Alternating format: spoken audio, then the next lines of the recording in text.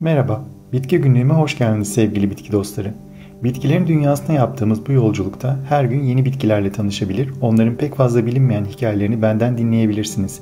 Dilerseniz hemen yeni bir bitkiyle daha tanışalım.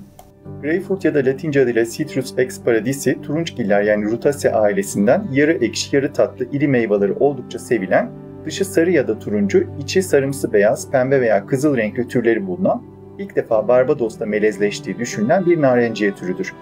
Greyfurt daha önce birer video ile anlattığım pomelo yani Citrus maxima ve tatlı portakalın yani Citrus sinensis'in bir melezidir. Ona geçmişte yasak meyve de denmiştir. İngiliz botanikçi James McFadden 1830'da Greyfurt'a günümüzdeki ismini koyarken yasak meyveden esinlenmiş ve Paradisi soyadı ile cennetteki yasak meyveye atıfta bulunmuştur. Ona İngilizce grapefruit yani üzüm meyvesi gibi bir isim verilmesi nedeni ise meyvelerini ağaç üzerinde salkım halinde oluşturmasıdır. Kışın yaprak dökmeyen greyfurt ortalama 10 metreye kadar uzayabilir. Uzun, ince, parlak ve koyu yeşil renkli yaprakları ve 4 taç yapraklı beyaz çiçekleri vardır.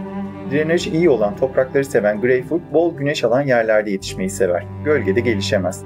Ağaç 7 ila 8 yıl sonra meyve üretmeye başlar ve 30-35 yıl kadar yaşar. Yetişkin bir ağaç yılda 600 kilo kadar meyve üretebilir. Akdeniz iklimi greyfurt için ideal olduğundan Akdeniz'e kıyısı olan tüm ülkelerde kolaylıkla yetiştirilebilir. Bir tarım zararlısı olan meyve sineklerinin olgun ve çürümekte olan greyfurtlara yumurtalarını bırakarak ürettikleri bilinmektedir. Bu nedenle greyfurtun ilaçlanarak kontrollü yetiştirilmesi gerekir. Çünkü bu diğer narenciye tarımına büyük ölçüde zarar vermektedir. 2021 rakamlarına göre dünyanın en fazla greyfurt üreten ülkesi dünya üretiminin %54'ünü karşılayan Çin'dir. Greyfurt uzak doğuda mandalina gibi refah ve zenginlik sembolü olarak kabul edilir. Uzak doğuda Çinliler bu sebeple yeni yıl kutlamalarında sevdiklerini greyfurt fidanı hediye ederler.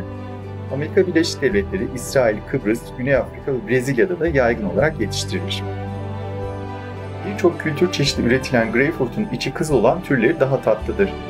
C vitamin deposu olan bu meyveler genellikle kahvaltıda çiğ olarak veya meyve suyu halinde tüketilir kilo kontrolüne yardımcı olduğu insülin ve kan şekeri seviyelerini dengelediği bilinmektedir.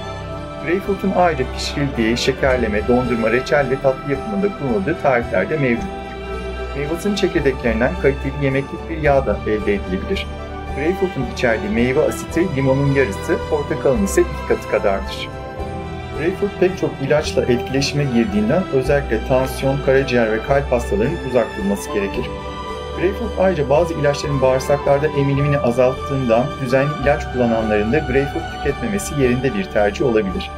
Örneğin soğuk algınlığı geçirdiğinizde ve bunun için düzenli ilaç kullanmanız gerektiğinde C vitamini almak için greyfurt yerine portakal ve mandalinayı tercih edebilirsiniz. Bitki günlüğümü ziyaret eden herkese bu videoyu izlediği, beğendiği, yorum yaptığı ya da paylaştığı için teşekkür eder, bol çiçekli günler dilerim. Bir sonraki videoda görüşmek üzere.